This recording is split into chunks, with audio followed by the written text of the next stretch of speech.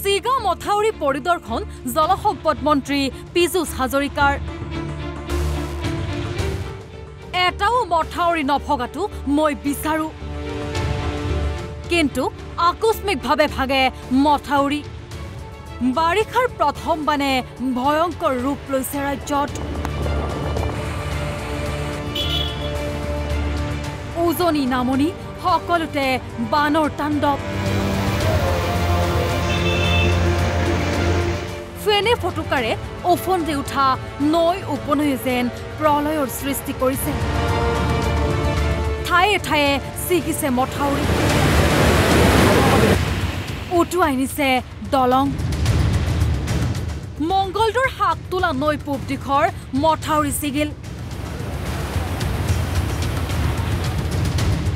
জলমগ্ন পোন্ধৰখনকৈ গাঁও। মন্ত্ৰী পীযুষ হাজৰিকাই মংগলদৈৰ বৰ আঠিয়াবাৰী গাঁৱত উপস্থিত হৈ চিগা মথাউৰি পৰিদৰ্শন কৰে।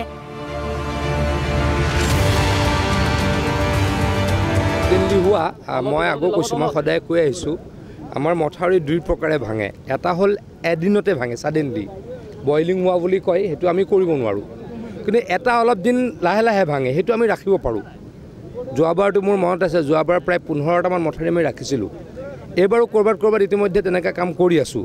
কিন্তু এইটো মথাউৰি আমি গম পোৱা নাই। কালি ৰাতিলৈকে কোনোৱে আমি গম পোৱা নাই। ছাডেনলি ভাঙিছে। গতিকে এইটোত আমাৰ কৰিব লগা বিশেষ নাথাকে। কিন্তু মই এটা বস্তুত সচেতন যে মই সেইকাৰণেই লগত লগত আহিছোঁ।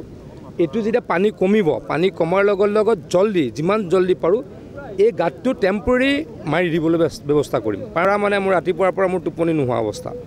আপোনালোকক হয়তো মই বুজাব নোৱাৰোঁ। মইতো এইটো ৰাখিছোঁ যে যোৱা বছৰ অসমত এটা মথাউৰি ভাঙিছিল। দুহেজাৰ এক চনৰ পৰা দুহেজাৰ বিছ চনলৈ এভাৰেজত চল্লিছটা মথাউৰি ভাঙে।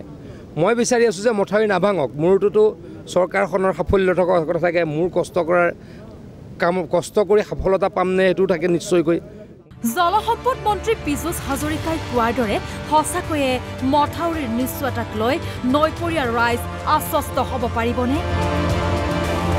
কিয় বাৰে বাৰে ভাগে মথাউৰি? মংগলদৈৰ পৰা Gautam Saharia report Assam live twenty four